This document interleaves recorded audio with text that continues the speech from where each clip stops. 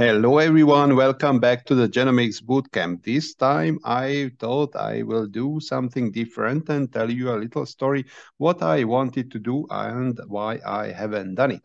So my plan was that, uh, well, I go through the R packages that you partly on the screen and all the other ones that are on the CRAN database or CRAN website. And well, I just go through them and see which packages are genomics related.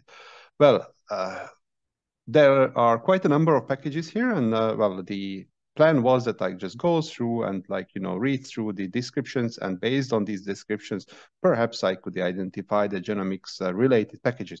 Now, fortunately, I haven't done it uh, right away. And first I copy pasted, well, this entire web page into Excel and found out that there are over 19,000 packages on this web page, 19,000 lines, which would take a very, very, very, very, very long time to go through with my initial plan.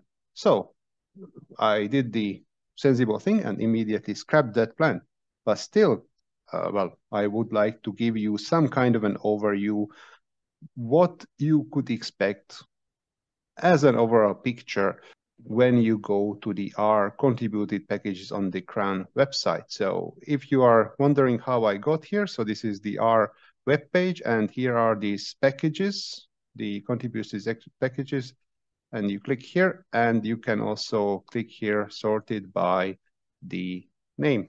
And so this is how you get basically to, to this list. Now, what I have done, I copied everything into a text file and then extracted only this uh, short description. And well, uh, just give an overall picture about a lot of words, what you use a word cloud. And so this is what I have done.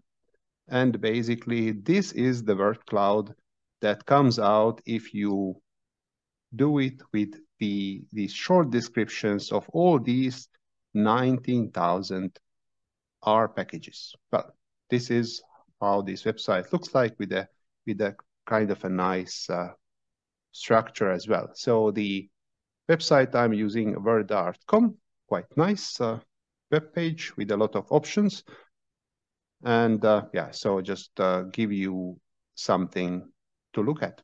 And also kind of a nice summary of the words that I use. So basically, if you don't know what word cloud is, so it's kind of a almost like an artistic uh, picture that displays the words the bigger with the bigger font if they are used more often.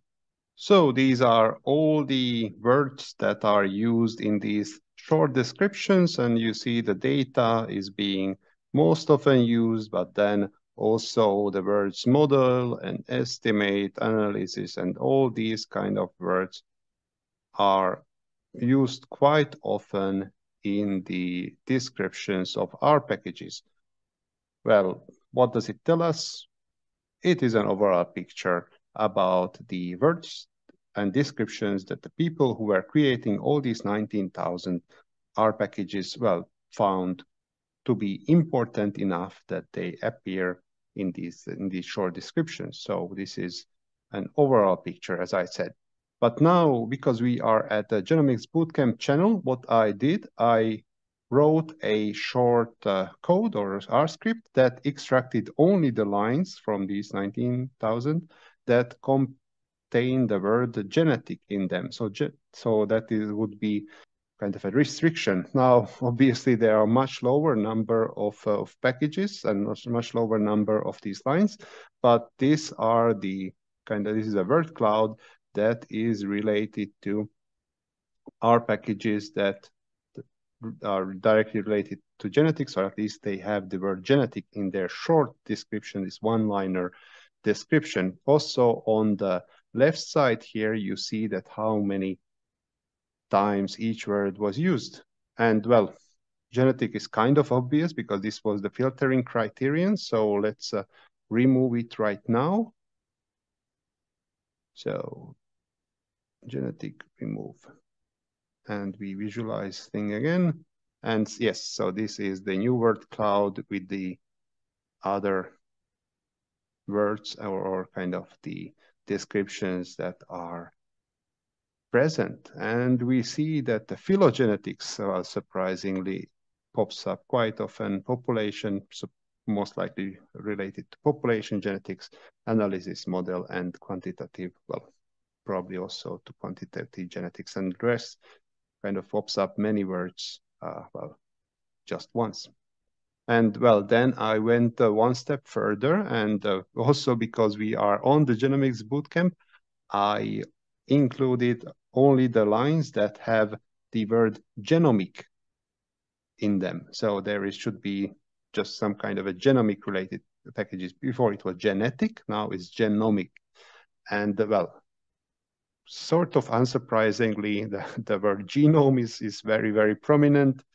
Uh, and but then also then data analysis use selected tools and also well others and then metagenomics it seems uh, somewhat more frequent than the others and uh, well these are also the the other words that are appearing in these short descriptions and also well this is a kind of a nice representation visual representation of the topics that appear often or more often than than, than others in these uh, in these R packages.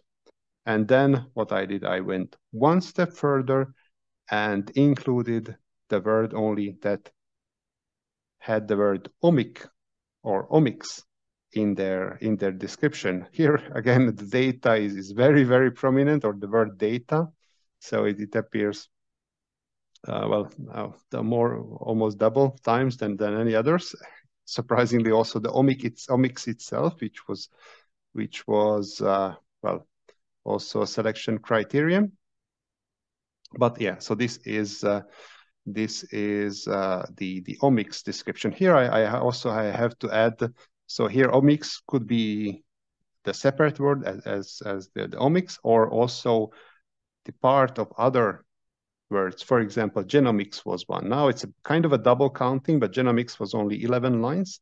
But you see that there are also, omics itself is, is as a word 27 times, but also the metabolomics, proteomics, genomics, transcriptomics are kind of used frequently in the words or in these uh, short descriptions. So also, well, the data is, is sort of a, a general term. So let's remove that and re-visualize the cloud, well, more accurate picture, but omics as the selection criterion was also kind of obvious. So let's see what happens now.